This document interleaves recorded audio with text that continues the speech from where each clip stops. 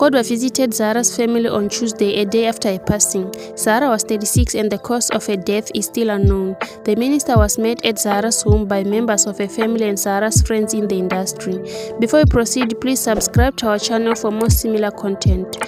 Today we'll be talking about Zahara's funeral and how Samro is accused for mismanagement of funds.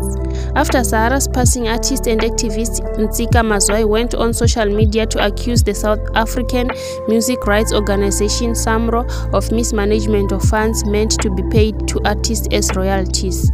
At Samro, there is undocumented works close to 100 million and people have been pickpocketing in undocumented for years, said Mazwai. People have been pickpocketing from undocumented at Samro and nothing has been done about it.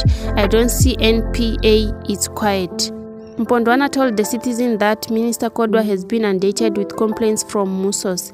The minister has been inundated with musicians' complaints at the recent South African music rights organization SAMRO AGM. The minister implored SAMRO to implement a good distribution strategy for royalties, said Mpondwana. Many South African artists have died as paupers over the years. This is similar to in soccer. When a young footballer dies or experiences struggles after their playing career, only then does the conversation about a structure in the industry comes up. Zahara's funeral. The Office of Sports, Arts and Culture Minister Zizi Kodwa has confirmed both the Eastern Cape and Gauteng governments will assist with the funeral arrangements for Zahara's burial together with the National Department of Sports, Arts and Culture. However, did not elaborate how exactly the provinces will be assisting the family. The memorial service took place at Rhema Bible Church in Randburg on Thursday morning, 14 December 2023. Her final resting place will be in the Eastern Cape, which is her place of birth.